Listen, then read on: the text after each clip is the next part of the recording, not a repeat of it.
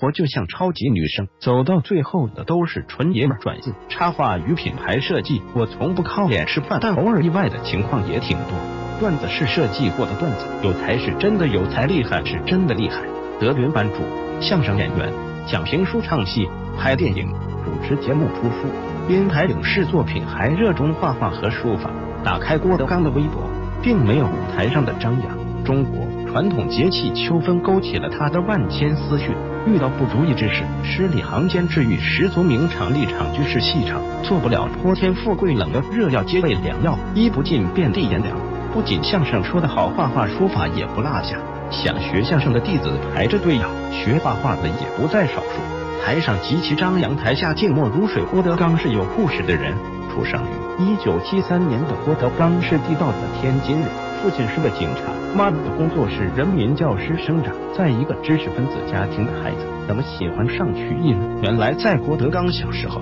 父亲的管辖区内有一个虹桥俱乐部，每天到上班时间，父亲就把他放在这个俱乐部的剧场内。剧场里每天都有演出。天津人喜爱曲艺，耳濡目染的他也总跟着唱。后来父母发现郭德纲有这方面的天赋，便允许他专门拜师学艺了。就这样，郭德纲开启了学艺的大门。七岁就跟随着天津评书艺人高祥凯学习评书。在学评书的时候，父亲发现他对相声也有兴趣，便托朋友将他介绍。给相声大家常宝听。那时他在常老先生面前表演了一段自学的《天王论》。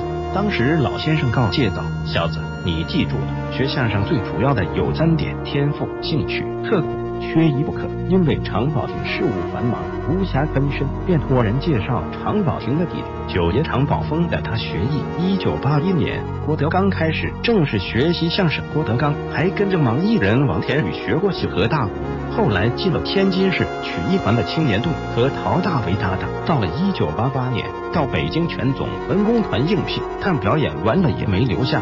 在北京辗转几日后回了天津，始终觉得不得志，决定再次进京。进京的第二年，就在北京创办了德云社，后又师从相声大师侯耀文，期间又学习了京剧、评剧和北方子等剧种。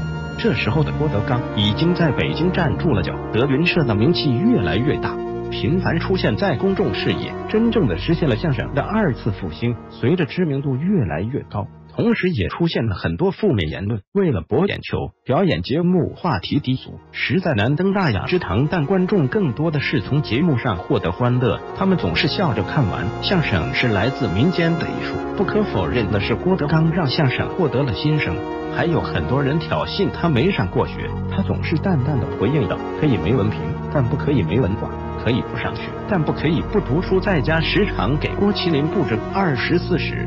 青史稿这样的家庭作业，并说给不了儿子文凭，但这些知识都会让他受益终生。虽然郭德纲没有很高的文凭，但他的人文素养深厚。因为学相声对文言功底要求很严格，儿时就开始练功的他，记忆力和悟性要比常人高出很多。加上长期的古文古籍博览下来，积淀不可谓不深厚。郭德纲说自己最大的愿望是做文人，并在自传《郭德纲好》这本书里开篇就写道。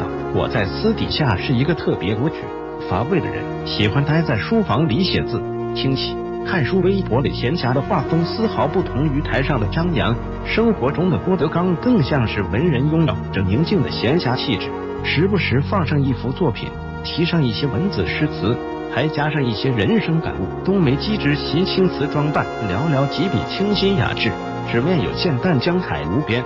有着很深的文人情节，笔墨十分雄浑圆滑画的意境，反而醇厚朴实，时不时赠人字画，仿佛抖包袱已成惯性约吗？二字显现出本性的，有的画作可爱雅致或者幽默诙谐，赠人的字画特点鲜明，并且用心，但貌似包袱无处不在。书法以自成一体，很是生动且柔中带刚，有些画作完全能体现郭德纲幽默风趣的一面来。眼中的万圣节。太阳已出红似火，二八佳人把胭脂抹越抹越红，越红我越抹。这姑娘长得太含蓄了，这刀确定是中秋节谢月饼。画中的兔子也一言难尽，赠给杨师爷的寿礼。画中的猫精神抖擞，双目炯炯有神，寓意深远。耄耋与耄耋是一语双关，希望老人家在耄耋之年依旧身体健康。闲暇时的最佳选择当然是画上几笔。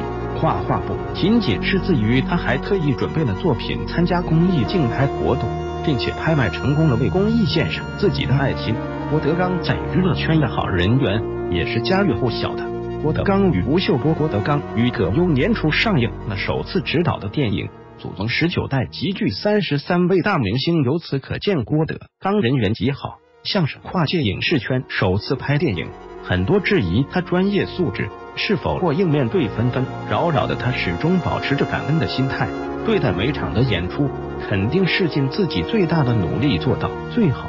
参加节目的时候全力以赴的精神尤其感人至深，面对别人的问话和调侃，总是能幽默又不失风度的回应。最经典的在一次节目上，小智对郭德纲说：“再不青春，我们就老了。”他幽默的回应：“你再不老，我们就疯了。”尽管外界看来他已经很成功，而他还时常提醒自己要保持初心，睿智并不失风趣，文雅却不失世俗。原来你是这样的郭德纲，但愿每个人千帆归来，都仍是少年。图文编辑自网络，版权归原作者，向作者致敬。转载仅做分享交流，如涉侵权，请联系我们，将立即处理。